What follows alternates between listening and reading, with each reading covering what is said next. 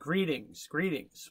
I am uh, going to continue today with my series on spiritual Israel and the New Earth. It's uh, part five. But before that, I wanted to say a few words concerning the tragic tragic event that took place on May 25th. The death, tragic death of George Floyd, uh, really looked looked like murder to me. Um, police officer Derek Chauvin, I'm not sure if I'm pronouncing his name right, kneeled on on the neck of George Floyd, according to this Wikipedia article, 8 minutes and 46 seconds, with 2 minutes and 53 seconds of that occurring after Floyd was unresponsive. So here you have an example, terrible example, of, of somebody who is entrusted with authority to uphold justice doing something unjust, murdering uh, this this person, really, by kneeling on his neck, and um, and when he when he repeatedly said he could not breathe, and it's such a terrible tragedy. Um, and it really is it is it's a shame and it's also and it, not only is it a, a, tragedy in itself that the murder of George Floyd in this in this terrible way at, at, at a time like this, just one problem after the other. You have the COVID nineteen, and then you have this, and we already, uh, you know, we're living in such times of of civil unrest, social unrest, economic unrest. Uh,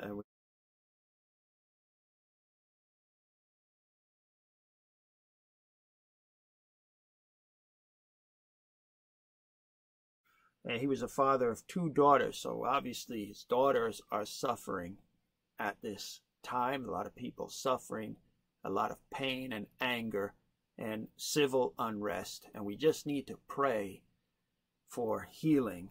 We need to pray for healing during these uh, these tragic times, such such tragic events that are happening in this world reminding us that that true perfect justice will only come from God and we look forward to a world to come reminding us of, uh, of that world to come that we need. But th this this fragmented society we live in this broken world that we live in is going to continue. And I'm reminded of the feet of iron mixed with clay in the book of Daniel, chapter 2, which really, when we study that chapter, what what that what that um, what that chapter reveals is that Nebuchadnezzar had a dream where he saw this image with the head of gold, chests of silver, thighs of bronze, legs of iron, feet of iron mixed with clay. But then that image was destroyed when this rock that was not made by human hands struck the statue in the feet and shattered it. And so what is revealed in that in that chapter, what Daniel revealed is these were these were the kingdoms of the earth. Babylon was the first. And as we study the Bible, we learn the second is Medo Persia and Greece, and then pagan Rome, and then the rising up of the divided kingdoms and, and the period of papal Rome, and this is the period we're in now.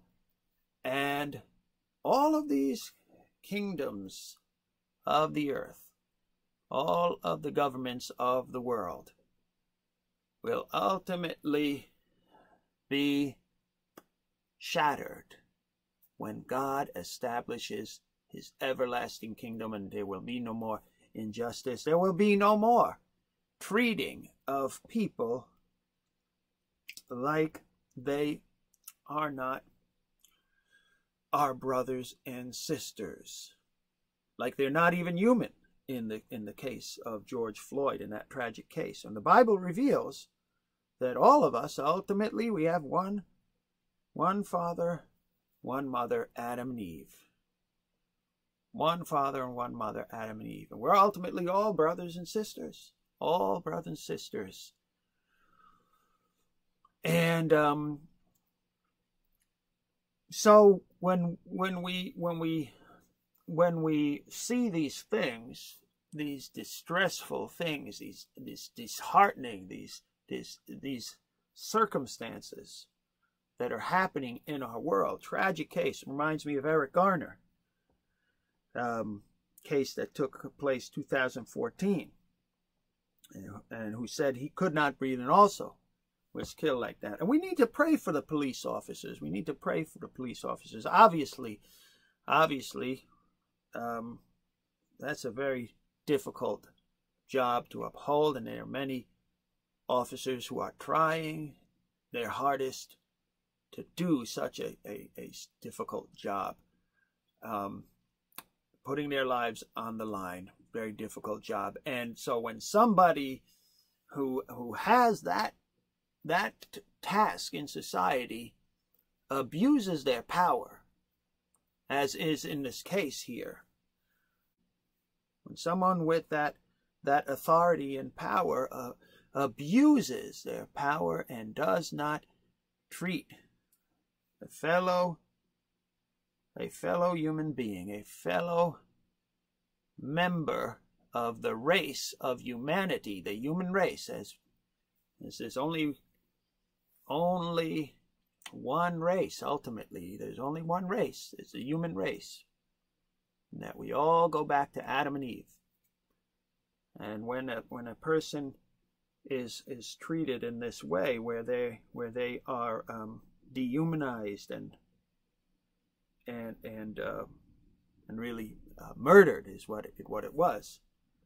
It is a reminder of the broken the brokenness of the world that we live in, and we look forward to to the world to come. We look forward to the world to come. Uh, God, only God can weigh the motives of the heart. I don't know what in the world was going on in the mind of this officer.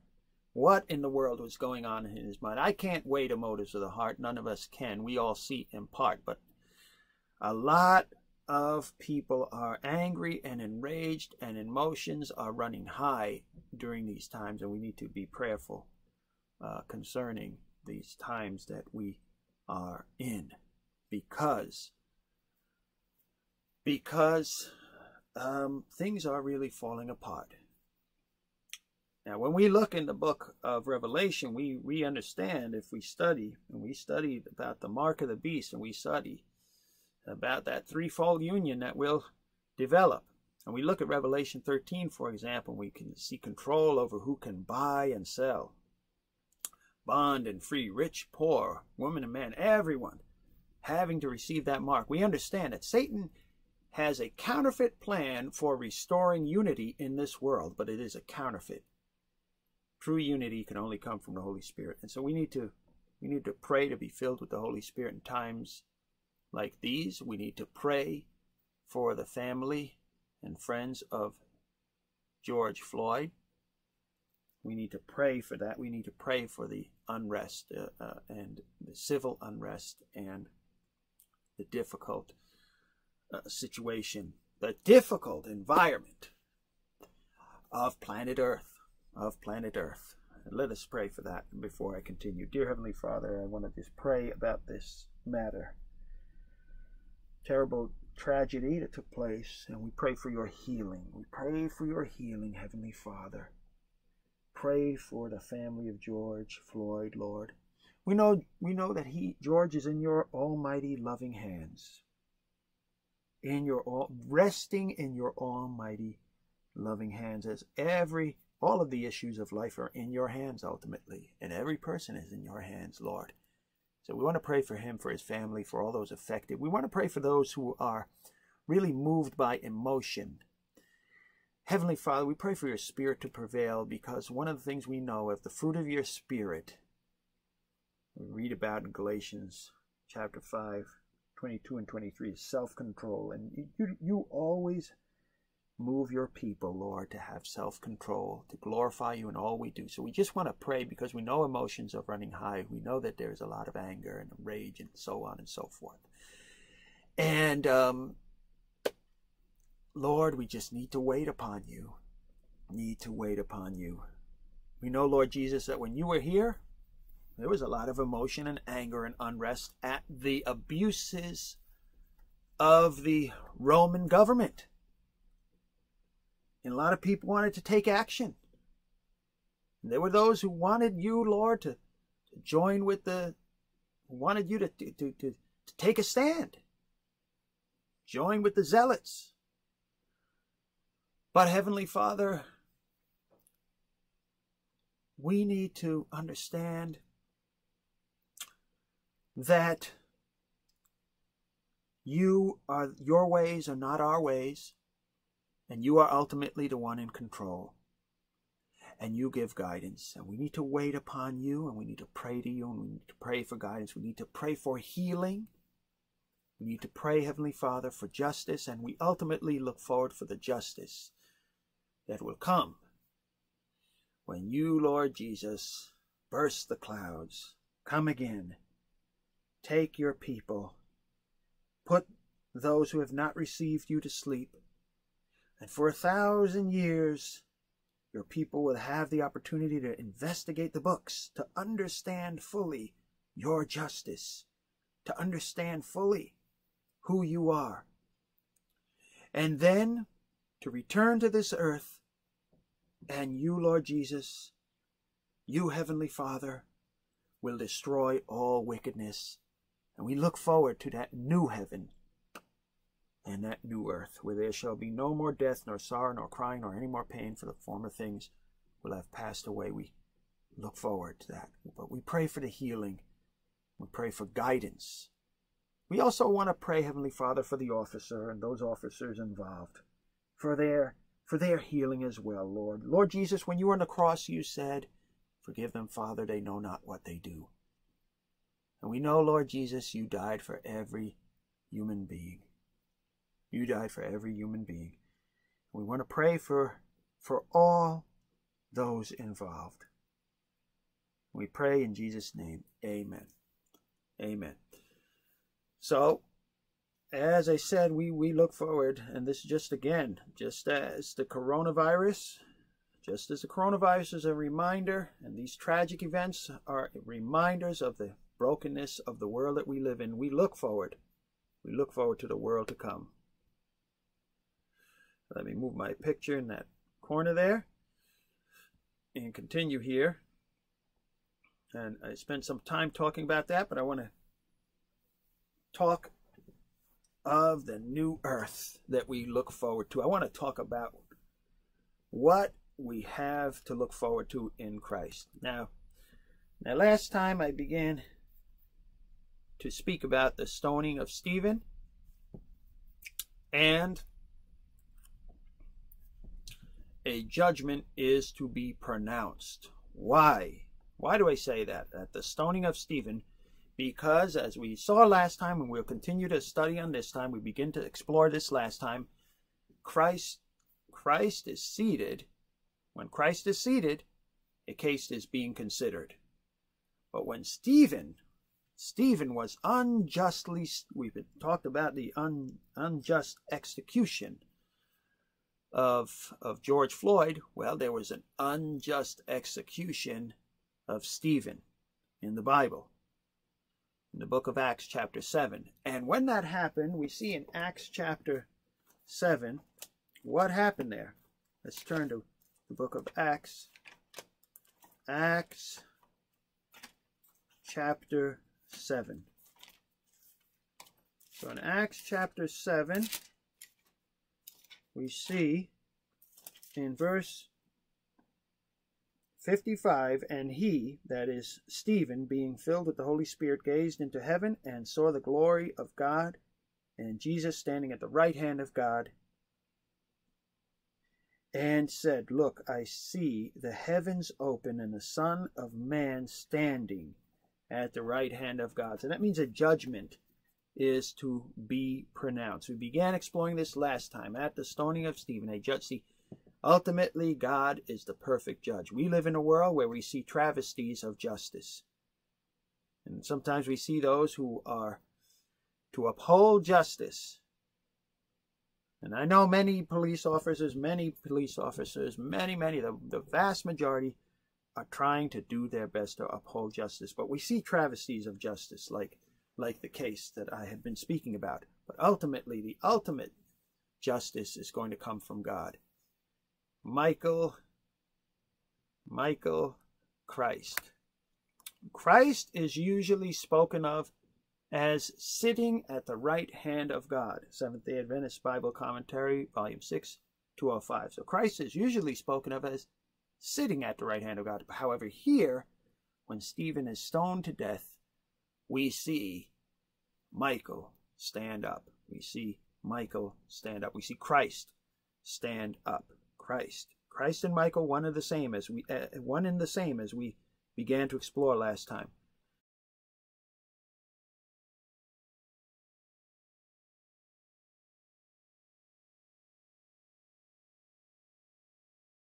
Christ stands when Stephen is stoned.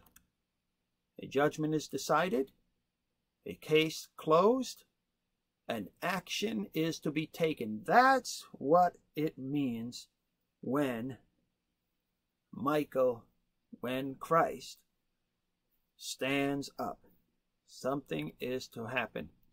Concerning Daniel 12:1, here the divine champion Michael in the great controversy takes action to deliver his people. So that's what we see in Daniel 12:1. Here in Acts, Acts chapter 7, we again see Christ stand up, who is one and the same as Michael, and he stands up, and again, an action is to be taken. What happened? What happened when Stephen was stoned? Probation closes for the Jewish nation as a nation though individual probation is still open. So probation closes on the Jewish nation, but not on the individual Jewish person. Not on the individual Jewish person.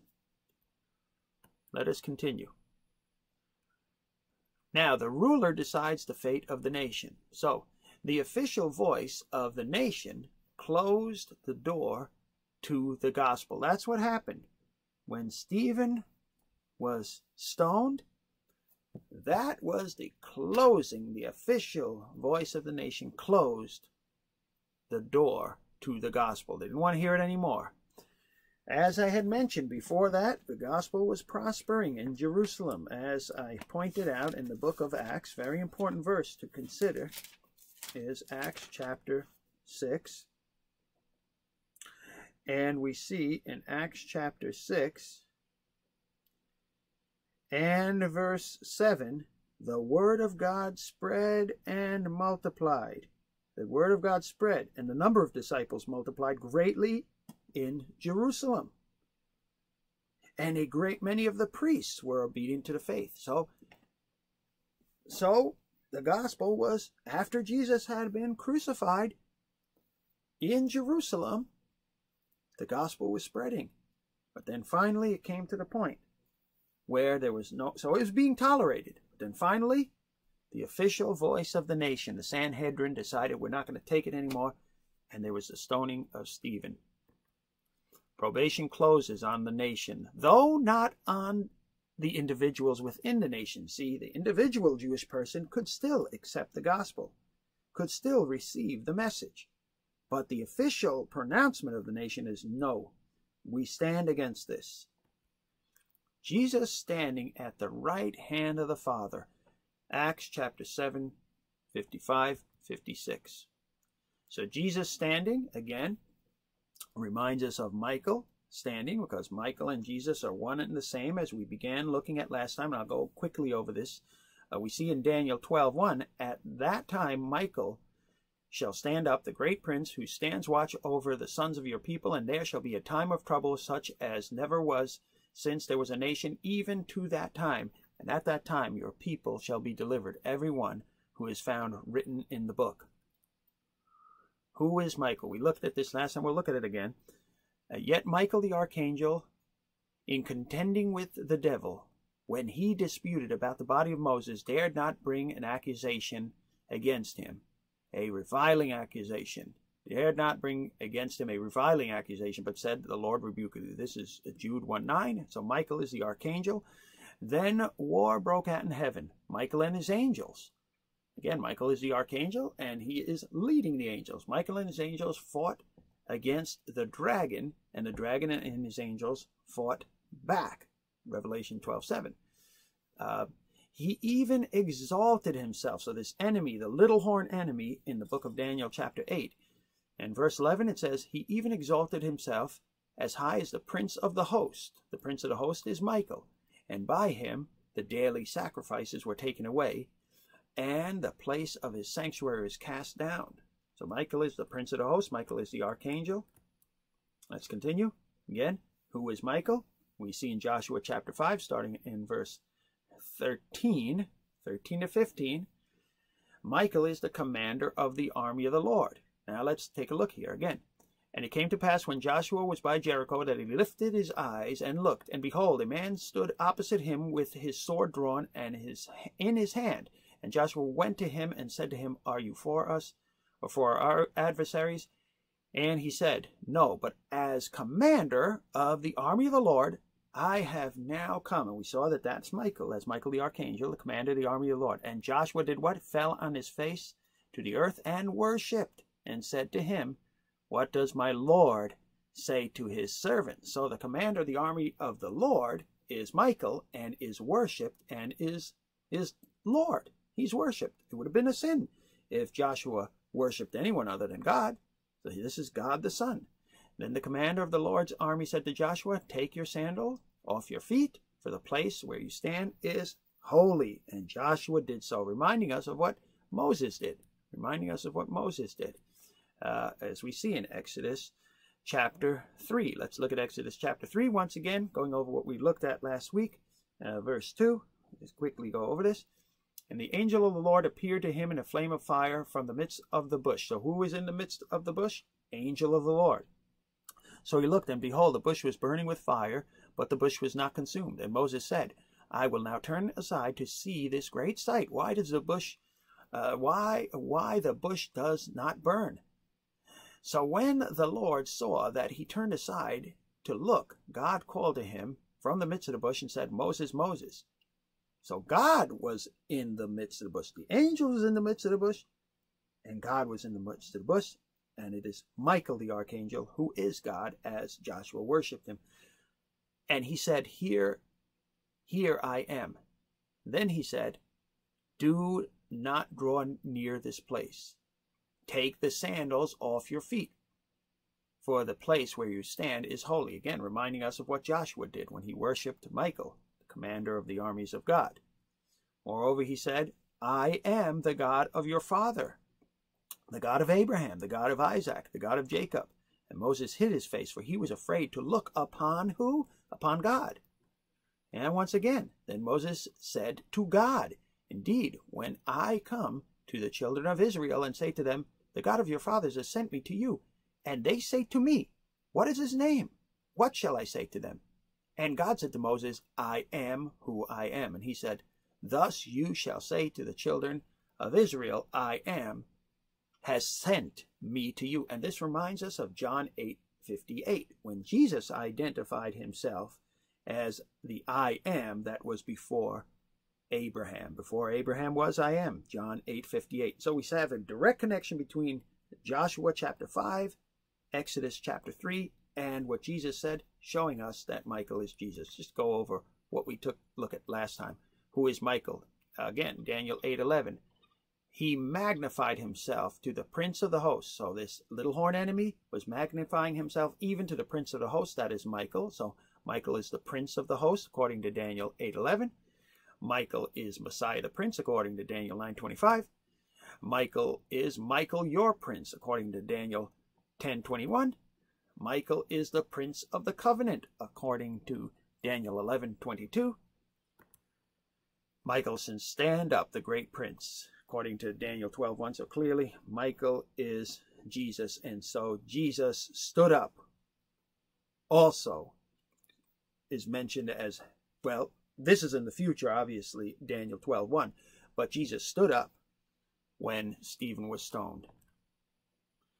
Mike, what about the word archangel? Again, Strong's Concordance looked at this last time. Angel is a messenger, a messenger. Now, this is again Strong's Concordance, messenger. That's what an angel is. Strong's Exhaustive Concordance, and again reveals to us ambassador, angel, king, messenger from an unused root meaning to dispatch as a deputy, a messenger specifically of God, that is an angel, also a prophet, a priest, or teacher, ambassador, angel, king, messenger, and again, uh, this is from the Bible Hub. So it could be a human messenger doesn't necessarily have to be a created simply messenger. And yes, Jesus was a messenger. He is the messenger and he is the message. He is the word made flesh.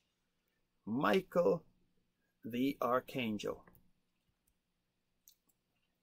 So here we see that the word is also used in the Greek. The word for messengers is angels, as the Bible uh, Hub reveals here, after John's messengers left, Jesus began to speak to the crowd about John. What do you, what did you go out in the wilderness to see? A reed swayed by wind. So John's messengers in this passage were called angels. And so this is uh, Luke 7.24. So as it is revealing here, properly a messenger or delegate, either human or heavenly. And we could even go further that in the case of Christ, Christ is an, an uncreated, uncreated being, but was a messenger and was the message, the living word, and a messenger for the Father. As we saw in, or as John 14 9 reveals, Jesus revealed that if you've seen me, you've seen the Father. So he's the living message from the Father. Who is Michael? Michael, the prince of the host, the commander of the armies of God. Michael is worship. So Michael is God. So we're talking about God the Son. Joshua takes sandals off his feet on holy ground before him. Moses takes sandals on holy ground before the angel in the midst of the bush, who is also the Lord, who is the I am. But we are not supposed to worship a mere angel. Joshua, was Joshua breaking the commandment? Commandment of God? No, because because Michael is God. Now I, John, now let's see what we're reading here. Now I, John, saw and heard these things, and when I heard and saw, I fell down to worship before the feet of the angel who showed me these things. And then he said to me, See that you do not do that, for I am your fellow servant and of your brethren the prophets, and of those who keep the words of this book. Worship God. So according to Revelation uh, 22, um, an angel, a mere angel, a created angel, would have not allowed himself to be worshipped. However, Michael allowed it when Joshua did it. Because, again, Michael is God. Michael the archangel is God the Son. And yet he is an angel in that he is a messenger. He is the messenger and he is the message from the Father. Who is Michael? Michael is Messiah the Prince, the Prince of the host, the Archangel, the I am who was before Abraham, as we saw, the one Joshua worshiped, the one Moses met in the burning bush, the messenger of the Father, the living message, John 14 9, John 1 14, and Michael is God the Son. Okay, so when Michael stands, well, here we see Michael stands. Jesus stands. They're one and the same. Michael stands at the end. Jesus stands. Now, the Bible tells us in the book of Second Corinthians 5:10, "For we must all appear before the judgment seat of Christ, so that each of us may receive what is due us for the things done while in the body, whether good or bad." Romans 14:10 though says, "You then, why do you judge your brother or sister?" Or why do you treat them with contempt? For we will all stand before God's judgment seat. So here we read, we will all stand before the judgment seat of Christ. And then we read, God's judgment seat. And so again, we know that Christ is God the Son. The Bible tells us in Daniel 7:10, a fiery stream issued and came forth from before him. Thousand thousands ministered unto him, that is, unto God. Ten thousand times ten thousand stood before him. A judgment was set, the books were opened. The judgment was set, the books were opened. And we see, according to the Bible Hub once again here, that the court, court was seated. So when the court is in session, when the investigation is taking place, the court is seated. The books are opened. So Jesus stood at the stoning of Stephen. The voice of the nation, the Sanhedrin, sealed its fate. They said, We don't want to tolerate anymore this gospel message. Had Stephen stoned. What happened at that point when Stephen was stoned? Prophecy was sealed. The fulfillment of the predictions connected with the first coming of the Messiah at the time specified in the prophecy gives assurance that the other features of the prophecy, notably the 2300 prophetic days, will be precisely fulfilled according to the Seventh day Adventist Bible Commentary, Volume 4. Again, who is Michael? Well, Jesus said in John 8 58, Most assuredly I say to you, before Abraham was, I am, and as I showed, that connects us directly to Exodus chapter 3 and to the end of Joshua chapter 5, showing us that it was Michael, that it was Jesus who Moses met and who Joshua met. And so, therefore, Michael and Christ are one and the same. Why did they want to stone Jesus? Why did they want to stone him when he said that? They took up stones to throw at him, but he himself hid himself and went out of the temple, going through the midst of them, and so passed by. In John chapter 8 and that was a that was a penalty for blasphemy according to Leviticus 24:16 so they they knew what Jesus was saying they knew he was claiming to be divine that he was claiming to be God God the Son they knew that what he was saying they didn't they weren't going to stone him for nothing they were going to stone him because they thought he was blasphemy we are not stoning you for good work they replied but for blasphemy, because you, a mere man, claim to be God. That's what blasphemy is, when a mere man claims to be God. John 10 33. And also, according to what Mark 2 5 through 7 shows us, blasphemy is claiming the right to forgive sins. But Jesus could claim those things because he is God the Son and he can forgive sins. But these are what we understand blasphemy to be according to the Bible. Now, according to the Seventh day Adventist Bible Commentary, Volume 4, it tells us for about three and a half years, the authority, the authorities in Jerusalem tolerated the preaching of the apostles, but their spite was finally translated into decisive action in the stoning of Stephen, the first Christian martyr, and a general persecution that then broke upon the church. Okay?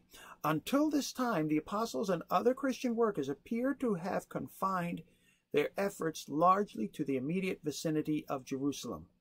So, before the stoning of Stephen, they were really just focusing on Jerusalem. It was the stoning of Stephen and the persecution that followed, according to the beginning of Acts chapter 8, that really dispersed the message, and eventually it went to the Gentiles. And so, we'll see here in the book, uh, the Bible commentary here, uh, chap, uh, volume 4, again, page 32. Gabriel came to reassure him, that is Daniel, of the restoration of his people. See, these things were being revealed to Daniel. The restoration of his people, the eventual coming of the Messiah, but, said the angel, Messiah would be rejected and cut off because of the abominations of Israel and Jerusalem, and the temple would once more lay waste.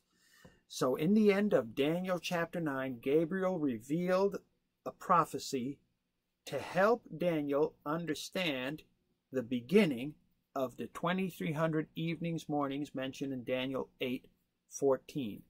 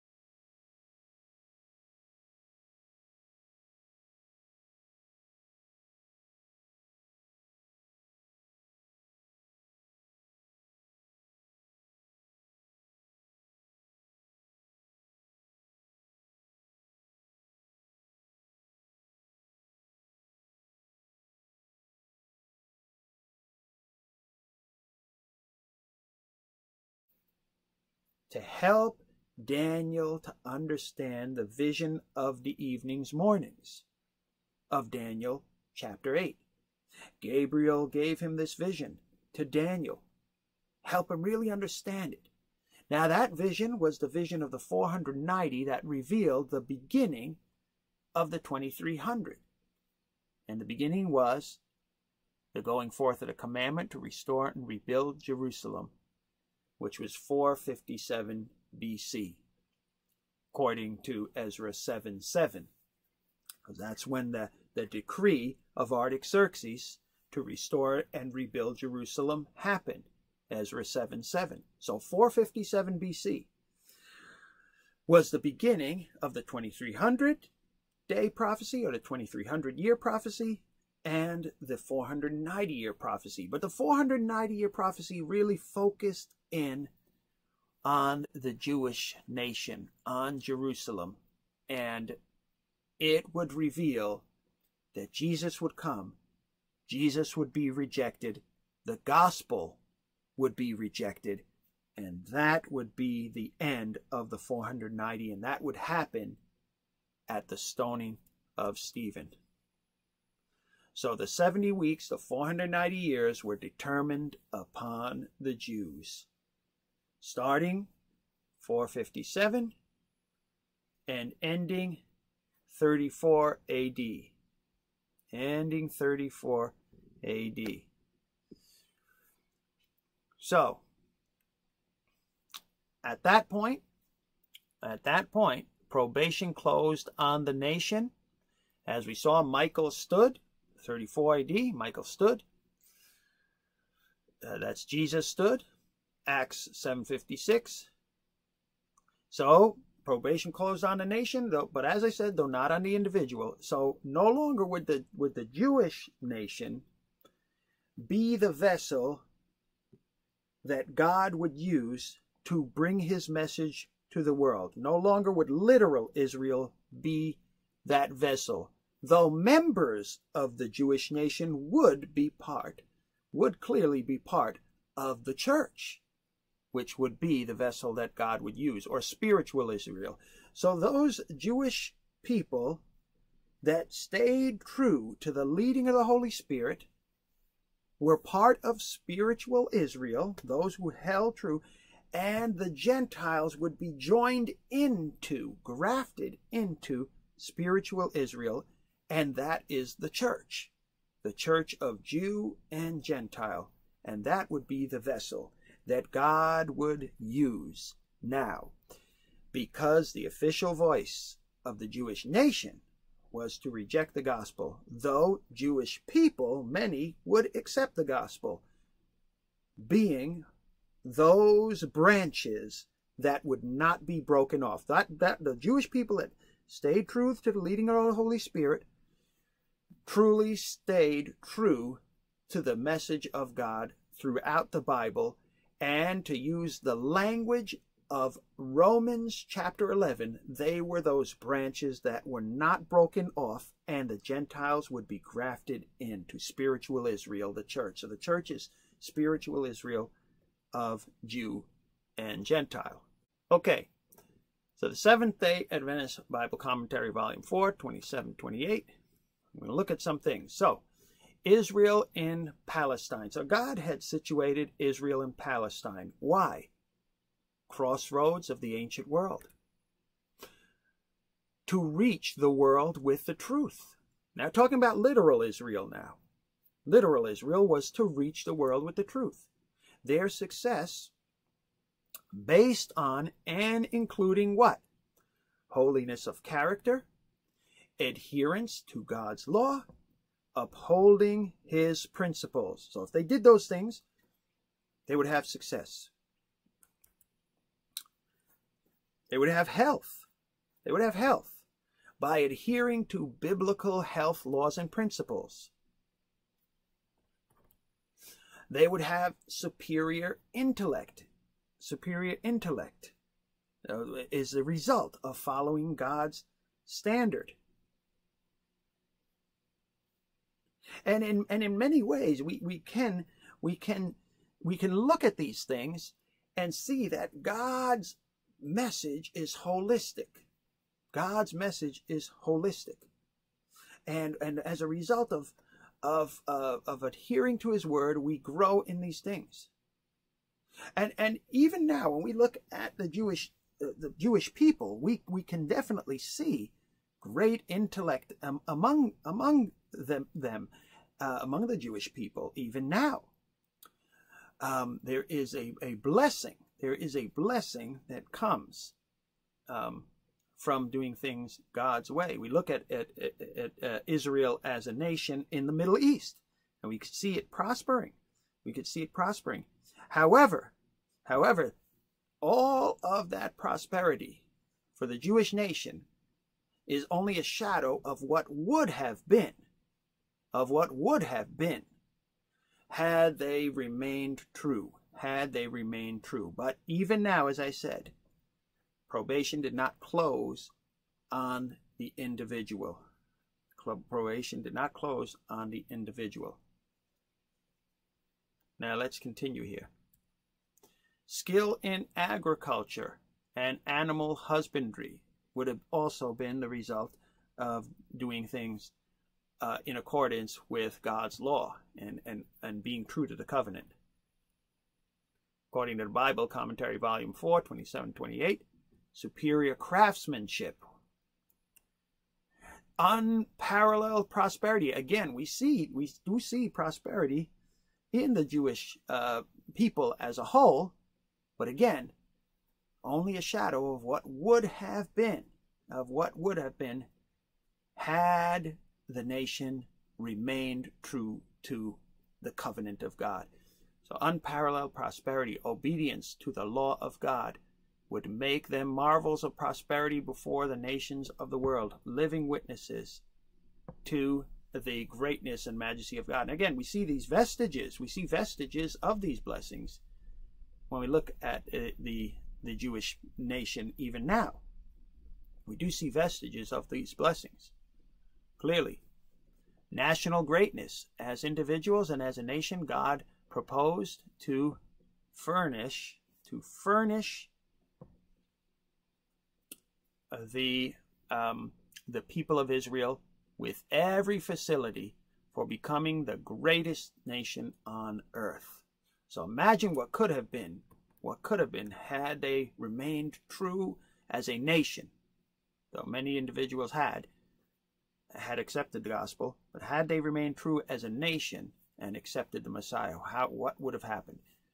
And they had that second chance as the prophecy of Daniel revealed, Daniel 9, but they rejected the Messiah. Israel was to be a light to the Gentiles.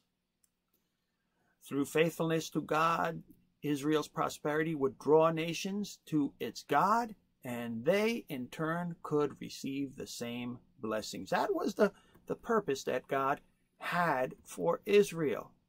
Jeremiah 3:17 At that time Jerusalem shall be called the throne of the Lord, and all the nations shall be gathered to it to the name of the Lord, to Jerusalem. No more shall they follow the dictates of their evil hearts. Had Israel remained faithful and accepted Jesus, things would have turned out very differently. Certain prophecies point to how things would have turned out under these conditions. The kings and leaders played a great role in Israel's failure. And so, conditional prophecies. And so when we look at the Old Testament, we see conditional prophecies. Again and again, God warned Israel that blessings, blessing goes hand in hand with obedience, and that a curse accompanies disobedience. And many references there. Seventh day Adventist Bible commentary shows us that. Deuteronomy 28, 15, 68, curses on disobedience.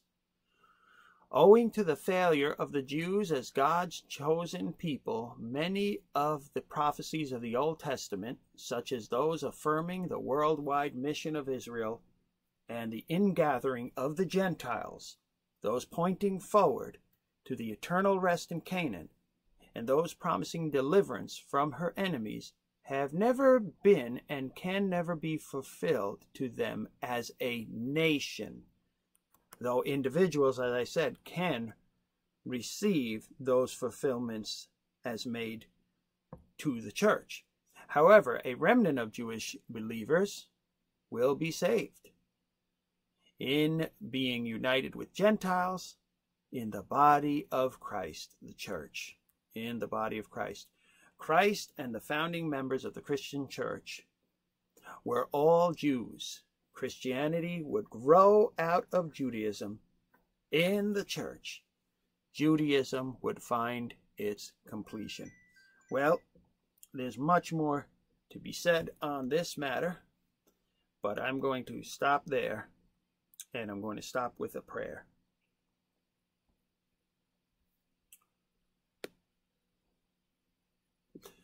Dear Heavenly Father, we, we thank you, Lord, for welcoming all people, for it was always your plan to welcome all people to receive salvation, to receive salvation through your Son, Jesus Christ. And Lord, the church being of Jew and Gentile, spiritual Israel, Lord, we want to thank you, Heavenly Father, and we want to uphold your law, your standards, your ways, and especially in the trying times that we are in, we are reminded, Lord, of the hope that we have in you and the world to come. The new heaven and a new earth, where there shall be no more sorrow, nor crying, nor any more pain, and all the former things will have passed away. We praise you in Jesus' name. Amen.